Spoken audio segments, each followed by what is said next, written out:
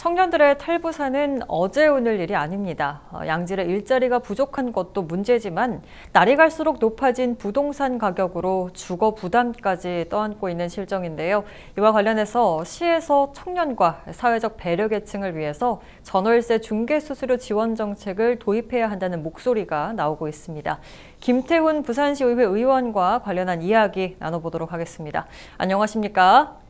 네, 반갑습니다. 네, 반갑습니다. 어, 코로나19 이후 부산 지역 청년 인구 유출이 심각하다라고 말씀을 하셨는데요. 수치상으로 어느 정도 수준입니까?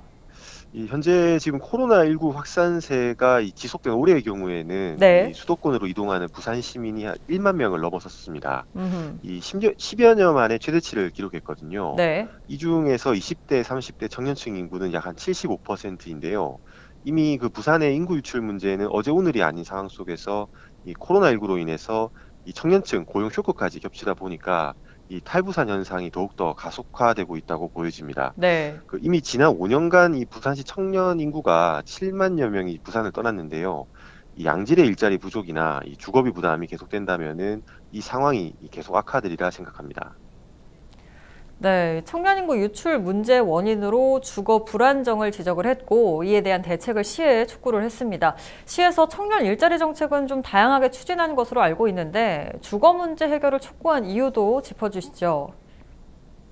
어, 이게 제가 앞서 말씀드린 이 고용 쇼크, 이 지금 모두가 지금 힘든 시기인데 네. 이 경제 한 축을 담당하고 있는 청년 일자리 문제가 지금 더욱더 힘들어지고 있습니다. 네네. 이 시에서도 지금 여러 가지 청년 일자리 정책을 펼치고 있지만 이 코로나19 사태로 인해서 좀 여러 가지 정책들이 무력화된 형태로 좀 나타나고 있거든요.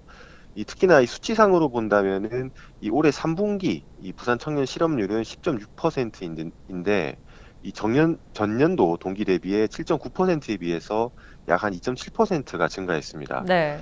결국 이 문제는 이 취업을 해도 이 또는 이 취업을 하지 못해도 이 비싼 주거비로 인해서 기본적인 삶의 터전조차 가질 수 없는 게 현재 청년들의 현실이거든요.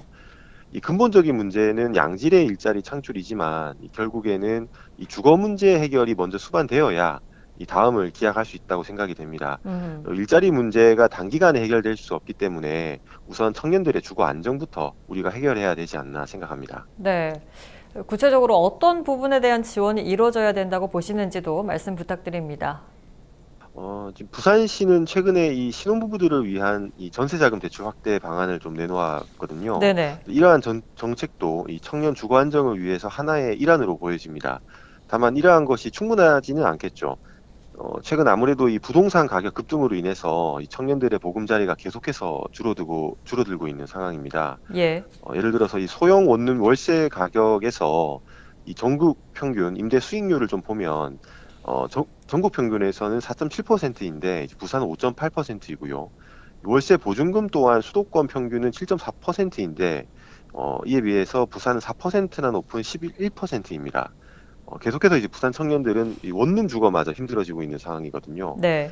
이 앞으로 이 공공주택 확대도 필요하겠지만 이제 우선 높아진 이 부동산 가격 대비 이 부동산 복비도 감당하기 어려워서 이제 이제는 이제 이를 지원하는 정책부터 시작해야 될 것 같습니다.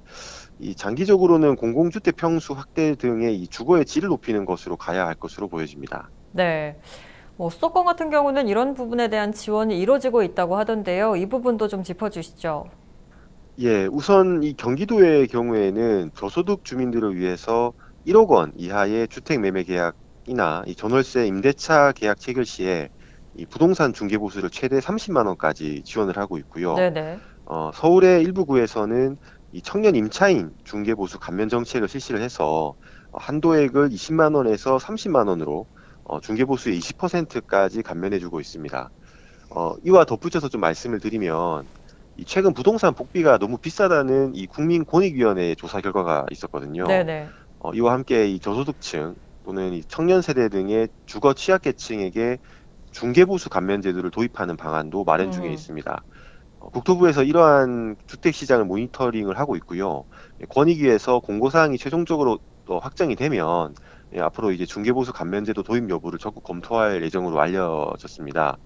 어, 추후에 중앙 차원에서 제도 개선이 이루어지겠지만은 어, 부산시가 이 코로나19에 앞서 힘들어하고 있는 청년 세대를 위해서 이 선도적으로 청년 주거 안전 정책을 실시하는 것이 필요하다고 보여집니다. 네, 오늘 말씀 여기까지 듣겠습니다. 고맙습니다. 네, 고맙습니다. 네, 지금까지 김태훈 부산시의회 의원과 이야기 나눠봤습니다.